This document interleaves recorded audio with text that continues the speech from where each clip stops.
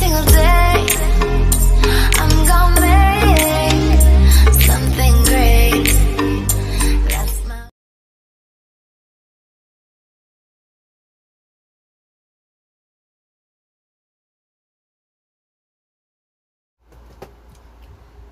Ayan, gawa tayo ng isa pang video ngayong araw na to. So, ayun, pang 3 video natin to ngayon na gagawin. So, ang papakita ko naman sa inyo, unbox ko sa inyo is itong in-order ko sa Sephora na Sassy Lady. Sassy Lady ba yun? Namumula na ako dito. Sa pagkamot ko. Yun, Sassy Lady siya. Tingnan natin kung gaano kalaki yung mga in-order ko. Kasi hindi nyo, iba pa rin kapag nakikita mo lang siya, di ba? Kumpara sa para sa nakikita natin personal, di ba? So, yun. Eto. So, hindi ko pa ito siya nabuksan. So, buksan muna natin. So, yan. May kasama siyang plastic. Plastic na ganyan. Siguro bagay ka sa mga pangregalo. Tapos, uh, pero sa bagay, ano nga ba naman yung spec ko, diba? Ako malulungkot. Kasi nakita ko sa ganong klaseng presyo, diba? Expect na natin, ganun talaga yung. So, kay Sassy Lady nga to.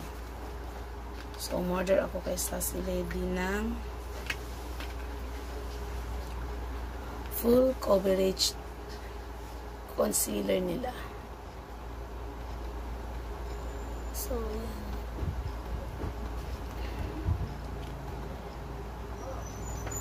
Ayan.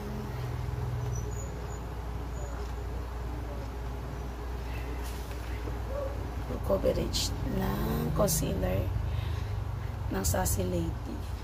Set 3 siya. Set 3 ang nakalagay sa kanya.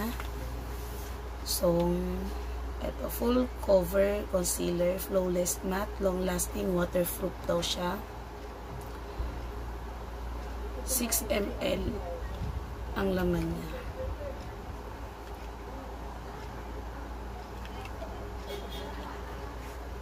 Natural shade. Natural shade siya. Yung number 3 is natural shade. Ah, okay. So, ito yung itsura ng bote niya.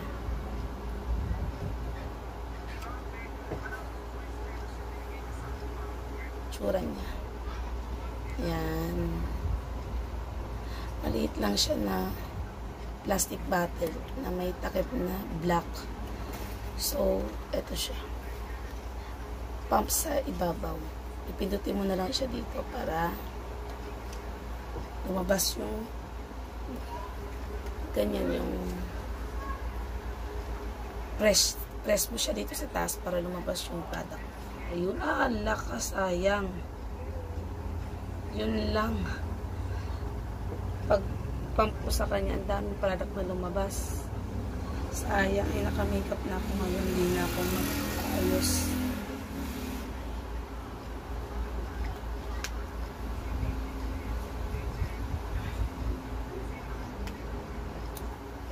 daming product sayang.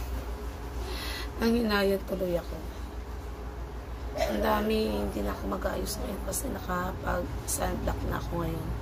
Toner na ako sunblock so yun balik tayo sa Sassy Lady so ganyan lang siya at ganun lang din yung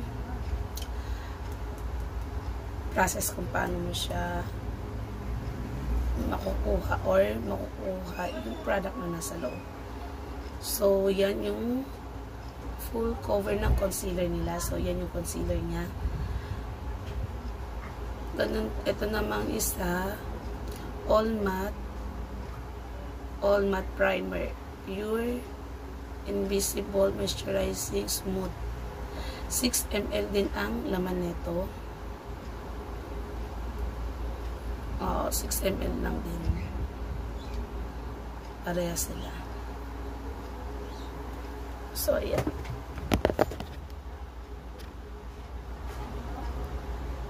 And all matte. Ang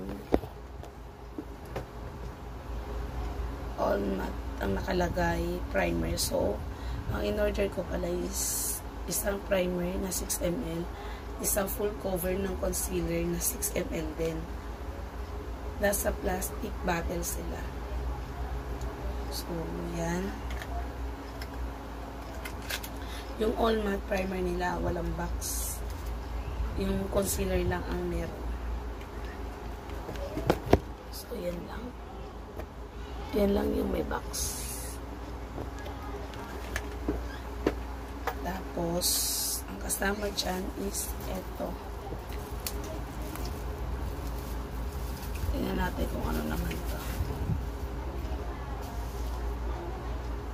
Sassy Lady Pro Cosmetic. Full cover, full cover din siya ng concealer. Smooth to apply. Easy to blend.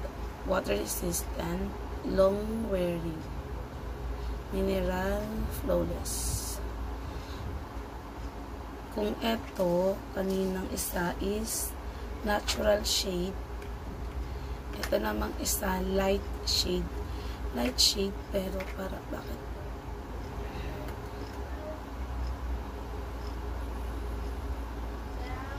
Concealer din siya, ha? Pero nasa ganyan lang. Ang puti lang tingnan sa camera ko. Pero pag malayo, ayan. Ayan, ayan. Yan yung kulay niya. Ito ang totoong kulay niya. Kasi kapag nakalapit siya sa camera, maputi tingnan, which is hindi. Light siya dyan tingnan eh. Pero dito, kung hindi siya ilalapit sa camera, may pagka dark brown. Halata yung dark brown niya. Ito, ito, da, ito si natural kanina. Ito yung light So, para sa akin, oo, magiging, masasabi ko na light nga lang to. Kahit pa paano, kumpara sa natural kanina.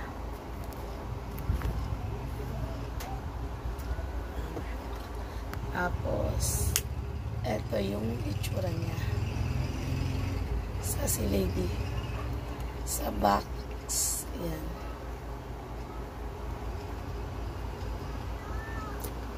So, yun. Yun yung in-order ko. Ang hindi ako magkakamali. Ano to eh. Um, 100 plus 100 plus maglalagay na lang ako ng price nila kung magkano ko binili itong tatlong to sa description. So, tingnan nyo na lang. Oo. Package na to eh. Lagi ko na lang kung magkano yung bili ko sa package na to. At kung ilan ang laman, ilan ml lang yung laman nila. So, tingnan nyo na lang mamaya sa tingnan nyo na lang mamaya sa description niya. So, yun yung isang product na binili ko. Tapos, nag-additional ako sa kanila na ito. Ito naman, sa si Lady rin, na matte, matte longwear foundation. So, ito, na, ito naman, foundation naman to. Foundation siya na medium coverage. Medium coverage. Ayan, Radiant Soft.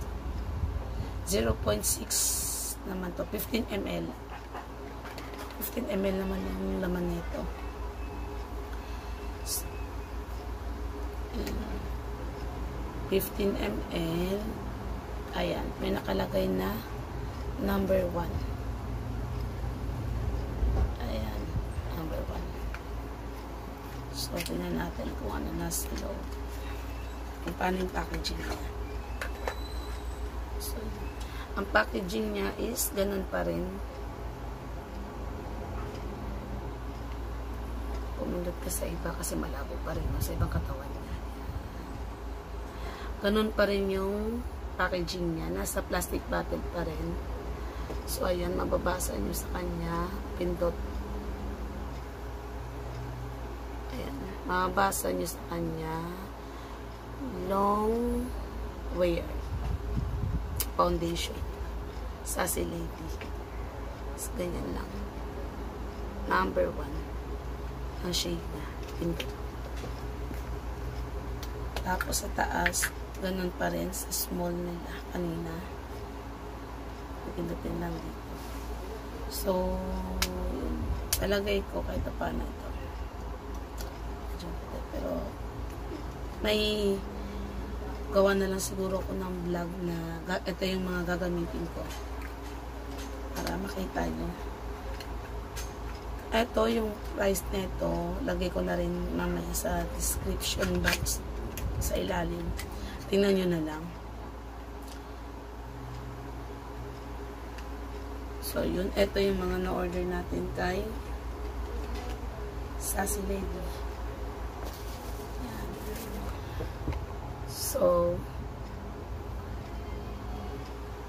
ayan yung apat apat na in-order natin sa Sassy Lady. So, yan siya. Yan yung mga product na in-order natin kay Sassy Lady.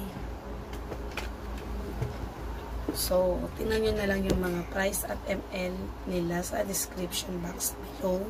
So, ulitin ko. Ito po ay binili ko sa Shopee.